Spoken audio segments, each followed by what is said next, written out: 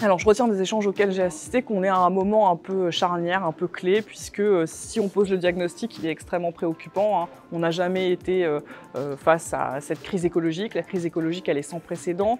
Dans le même temps, on a une augmentation de la pauvreté, on a des situations d'accueil qui sont parfois indignes, on est face à des réponses politiques qui ne sont pas au niveau, à un débat qui est quand même pas toujours très stimulant sur le plan euh, intellectuel. Donc euh, voilà, le, constat il est quand même pas très euh, enthousiasmant. Mais dans le même temps, on a une société civile qui est forte, qui est organisée, qui est mobilisée.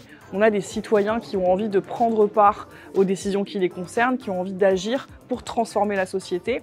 Et donc voilà, donc on a deux options. Soit ben, on lâche l'affaire et on abandonne, soit on reste hyper mobilisé et on décide d'une certaine manière de, faire de la politique. Alors pas au sens partisan, mais de prendre le pouvoir, de se mêler de ce qui ne nous regarde pas, parce qu'on a des réponses à apporter, on a des réponses exigeantes pour lesquelles on peut se mobiliser largement à condition d'être unis, euh, soudés, fédérés et à condition d'avoir un objectif clair, un projet de société clair vers lequel on veut tendre.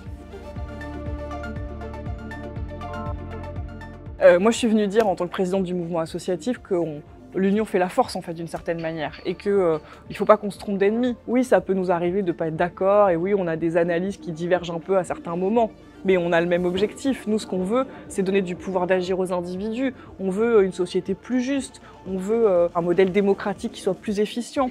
On veut des corps intermédiaires forts. En fait, on a des, ambitions et des objectifs partagés, et surtout, on refuse d'être euh, euh, passif, on refuse d'être résigné. Et on est tous habités par une indignation profonde, je crois clairement. Cette indignation, on l'a transformée en engagement. Et donc, euh, euh, faisons en sorte que d'être encore plus unis et de nous fixer des buts de guerre, des objectifs de conquête d'une certaine manière, pour lutter contre des constats qui sont extrêmement préoccupants.